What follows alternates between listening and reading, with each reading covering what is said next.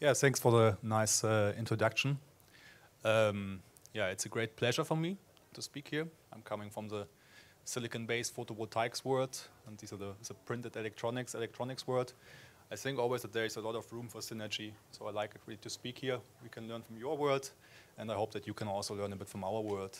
So the title is uh, Thinner Than Human Hair, Fine-line Metallization for Next Generation Silicon Solar Cells. So this as an introduction to the Fraunhofer Institute for Solar Energy Systems. Um, so we are one of many Fraunhofer institutes, about 80 Fraunhofer institutes, also a couple of Fraunhofer institutes available uh, here at the LOPEC. Um, so we have a strong focus um, on the renewable energy systems and everything what is behind. So starting from the right, um, we have the um, some energy distribution, yeah? for example, power electronics and grids.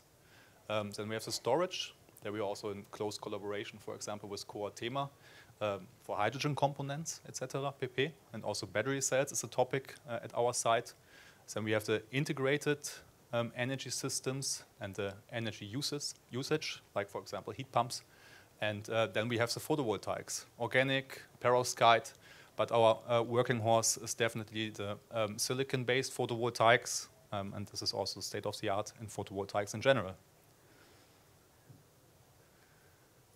Yeah, here you see a quite short insight in our uh, infrastructure. We have uh, 2,000, uh, 22,300 square meter of lab space, also clean rooms. Um, here you see a picture of our coworkers. Uh, we are hiring as well, students, uh, PhD, so if you're interested, then just ask. Yeah. Uh, today I will show some approaches um, on integrate fine line metallizations. So there we have a focus on screen printing um, and the mask and plate process for copper metallization and FlexTrail, a new printing technique.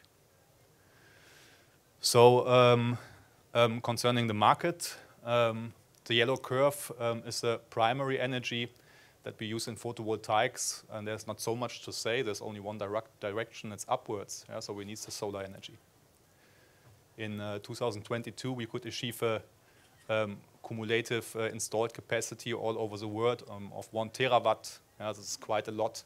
Uh, if you think about solar, solar plants, this would be five times the area of Berlin, yeah, and it will even increase up to 63 terawatt in 2050. This is what we expect for achieving the climate goals.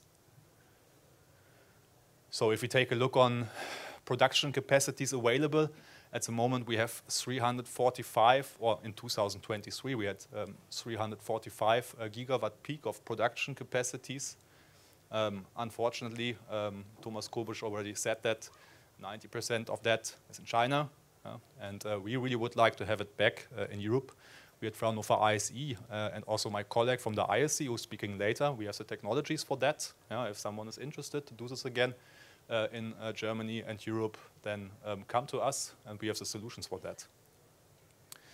Um, we expect um, to achieve these, um, these uh, scenarios which I um, showed before.